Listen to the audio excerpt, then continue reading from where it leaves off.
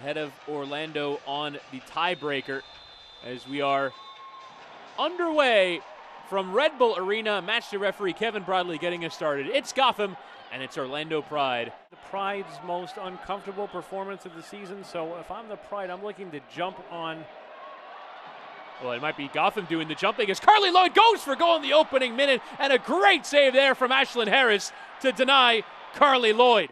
It's a great early chance here for Gotham. And Lloyd scored in her first game back after announcing her retirement pending the end of the season. And there's a good shot and an excellent. Here's Leroux. Free allowing play on, and now an opportunity from a long way out. It's a decent strike as well. It's a good hit there. Now Onumonu to try and take down in the area. Referee allowing play on here as it comes to Kawasumi. Trying to square it. Here's Carli Lloyd. His effort wasn't too far away.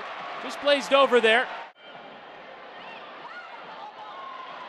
It's a square ball here for Lloyd, who's in a pocket of space.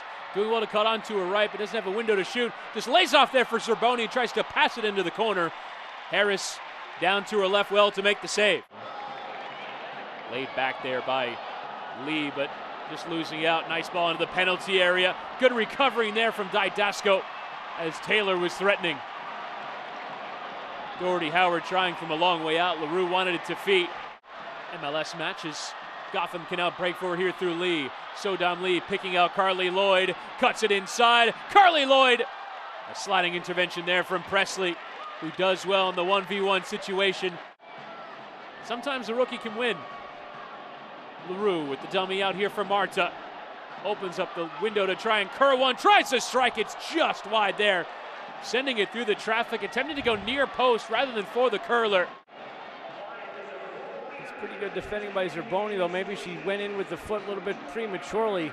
Marta was able to get around that, get a little bit of space. Leroux's playing as a makeshift right back there, getting clear as we have the halftime whistle. But I think she was a little bit too deep. They need to figure out how to get her on the ball a little bit higher up the field. I also learned something because I did not know that about the piano, accordion, and the guitar mm. for Marta.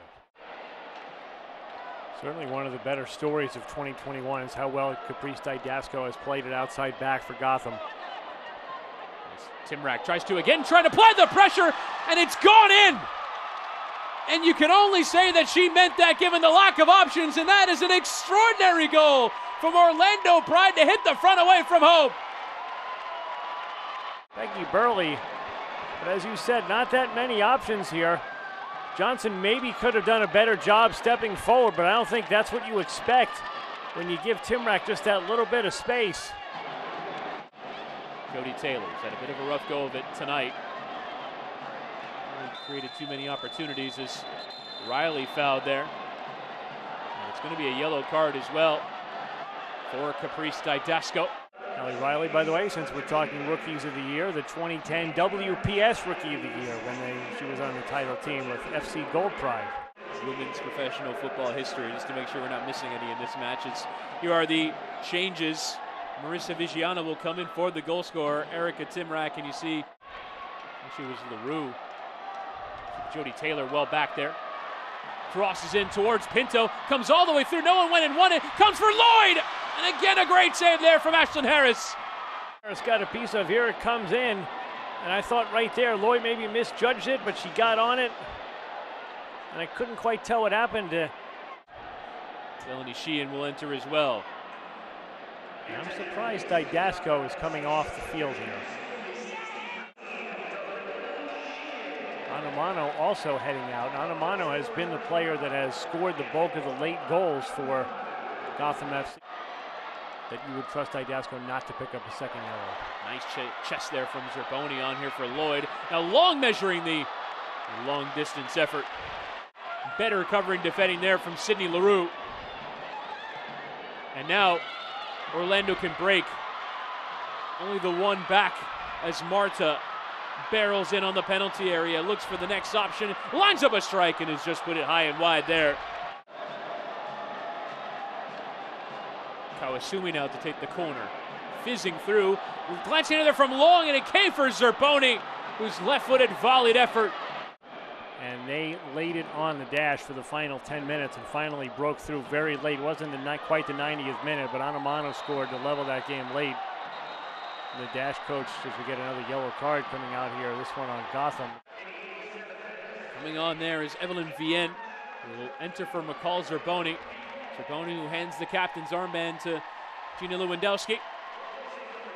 Chris, I feel like the five subs that we've been using since the pandemic began can get teams a little bit more off kilter. It's, uh, you know, that's more than half, almost half the team. So skilled on the ball, looking for the next option. Managed to find Kornieck and just dragged it on. Come here for Viggiano, but she had drifted offside. I don't think Kornieck was expecting Marta to be able to get that ball to her, and it was sending a little bit hard. Instead, we'll play it in, in towards the penalty spot.